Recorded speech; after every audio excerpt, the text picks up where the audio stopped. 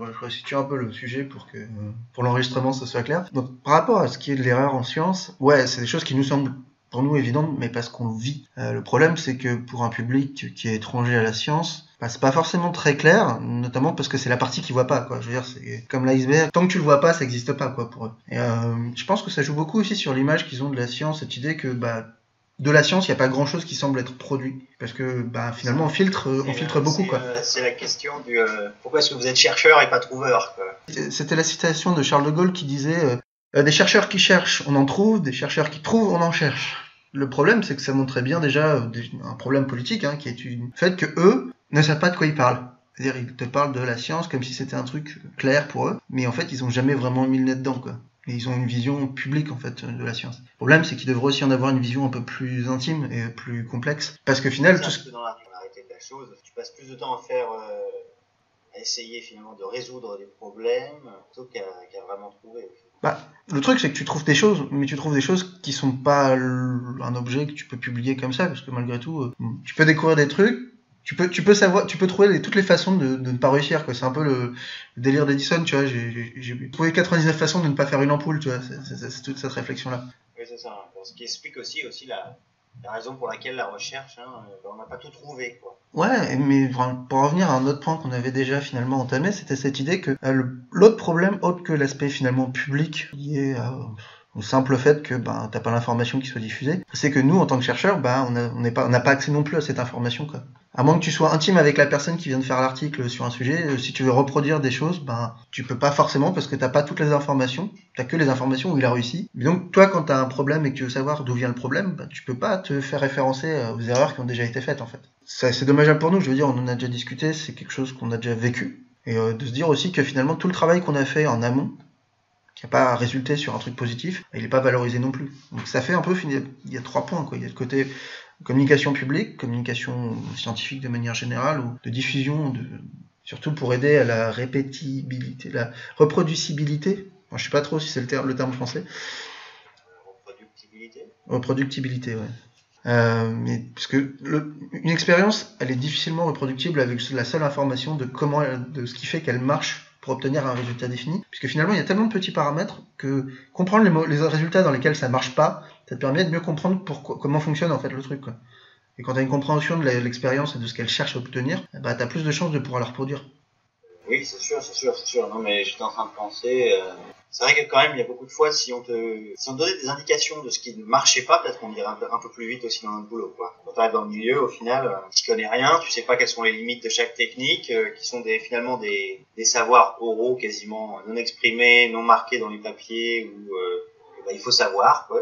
Puis on gage du temps en même temps. Si t'imagines quelqu'un qui essaye soit de reproduire des résultats, soit qui essaye d'avancer, voilà, il est obligé de tout réapprendre par lui-même par elle-même d'ailleurs. Il y a déjà ce paradoxe qui est présent, le fait qu'on soit à la fois en compétition et en collaboration. En toute logique, tous les scientifiques du monde collaborent entre eux, mais sont en compétition sur les sujets sur lesquels ils travaillent. Donc déjà, ça ralentit énormément, mais... Non, elle est juste introduite par le fait qu'on est obligé d'être... Euh, Visible, ouais. Pour des fonds.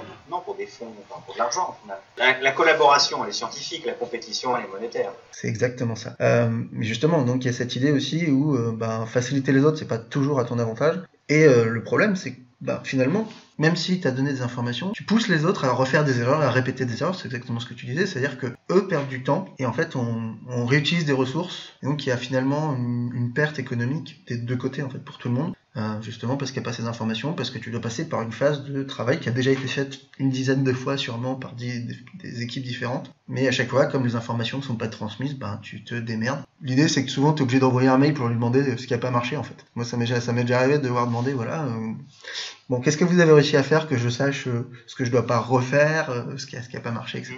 Et euh, finalement, il y a ce problème-là aussi. Quand on voit pas les, tout ce qui a été fait, euh, bah, et qu'on nous dit, bah ça, ça marche, et c'est comme ça, bah, ça, ça, relève presque un peu de la croyance en fait. On en est à ce point où bah, soit on remet en doute. ça c'est quand même un, un, autre pan de débat. Oui, c'est un non, mais clairement c'est un autre pan de débat. Il y a cette idée que. pas tant de la croyance en fait, c'est ah, c'est de la confiance.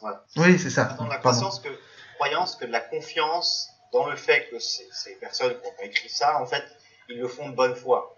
Euh, mais bon, ça revient, c'est une forme de croyance, j'imagine, mais voilà. Bah, il y a aussi cette idée que s'ils font une erreur, bah, pour vérifier, c'est beaucoup plus compliqué. C'est-à-dire que, bon, il y a des moments, en toute franchise, tu peux avoir émis une hypothèse, peut-être planté, sans avoir essayé de falsifier ou quoi que ce soit, d'avoir vraiment essayé de, faire les choses proprement et de te dire, bon, bah, au final, tu t'es peut-être trompé et euh, tu t'en rends pas compte puisque c'est le moyen de savoir si tu t'es trompé, c'est de refaire toutes les expériences et de voir, en fait, tout ce qui a pas marché aussi et de, de comprendre tout le processus, tu vois. Je pense qu'il y, a quelque chose de similaire aussi sur le traitement de l'information et surtout sur la diffusion de différentes couches parce que bon, l'information, c'est un, c'est devenu une masse, quoi. Je veux dire. Pour que ça perce jusqu'au, jusqu'au grand public, c'est pas évident, quoi. De manière générale. Tu vois, ce côté, un peu, la science, euh, ça, ça, ça tue le romantisme, ça tue. Euh, ah non. Ouais, c'est un, c'est un ramassis d'erreurs jusqu'à tu trouves un truc. Aussi, hein. Et justement, c'est ça la beauté. Et ouais, mais puis en plus. Transformer la boue en or, comme disait le poète dont j'ai oublié le nom, me semble Mais dans tous les cas, de toute façon, ce qui, ce qui, peut sembler de la boue, ça, ça l'est pour toi parce que tu as un objectif, parce que tu veux de l'or. Mais ça se trouve, dans la boue, tu vas trouver autre chose qui est peut-être plus, qui a peut-être encore plus de valeur que l'or. C'est ce qu'on disait par exemple sur Edison, c'est-à-dire que cette idée que la boue des uns et c'est l'autre, c'est l'or des autres, tu vois. C'est. c'est la grande phrase, c'est la grande phrase du jour. C'est la boue des uns et l'or des autres.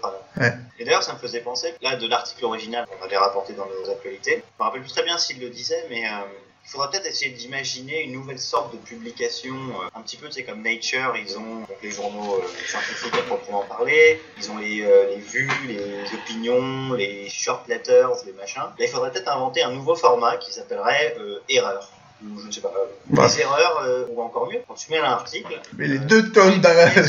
Non, c'est ça, tu soumets en, en, matériel supplémentaire, on n'a pas, on pas un... Appendix, appendice, ouais, c'est donc c'est les annexes. Donc ça, euh, tu mets en supplément. Annexe, annexe en supplément, annexe. Ouais, c'est très bien, annexe. Euh, tu mets en annexe donc à l'ensemble des trucs qui n'ont pas marché. Comme ça, si quelqu'un veut répliquer tes trucs, tu donnes ce qui a marché, mets tes honnêtes sur ce qui n'a pas marché, comme ça en plus, produit encore plus, quelque part. Bah, limite, je pense que ça devrait être une publication séparée où tu as. Ah voilà, j'en suis. Tu vois, par exemple, tu devrais pouvoir publier des erreurs seules. Si tu publies à un endroit où, tu, vois, où toutes tes erreurs t'ont permis d'arriver à un but, bah, tu peux publier les deux séparément et les mettre en lien. Tu vois, quitte à ce que les erreurs soient publiées en dehors de la revue et qu'elles soient publiées sur un site, comme une publication individuelle, mais ailleurs. Comme ça, au moins, ton travail, tu as la publication qui est validée par euh, le système classique et tu as, as, la publication qui correspond à toutes les erreurs qui soient accessibles librement, puisque je veux dire, ça, tu vas pas choper l'un et pas pouvoir choper l'autre parce qu'il faut payer deux fois 40, euh, 40 euros là, enfin 40 dollars. Mais euh, je pense que ça, ça, serait bien même d'avoir un, un, site où tu aurais le recueil des, des erreurs, tu vois. Un peu cette idée de, de, de dépôt euh, où tu peux mettre, voilà, bah, on a écrit tel article, avec tel article, il y a tout ça qui va ensemble, genre ça fait 4, ça fait 70 pages, et ça c'est les données de, de ce qui a pas marché. Oui, ou au moins au minimum une explication. Ouais. Dire, euh, je sais pas hein, si c'est un modèle informatique, euh, quel type de variables n'ont pas marché, euh, voilà, pas obligé de les analyser, je veux dire, si ah oui, non, mais tu vas pas, t'imagines si tu balances toutes les analyses, euh, tu veux dire, après tu fais une présentation pour dire que ça a pas marché, quoi. On va essayer de partir sur une phrase de conclusion. Donc, on part, on, on part du principe que l'erreur en science, à ton avis, est-ce que c'est important ou pas?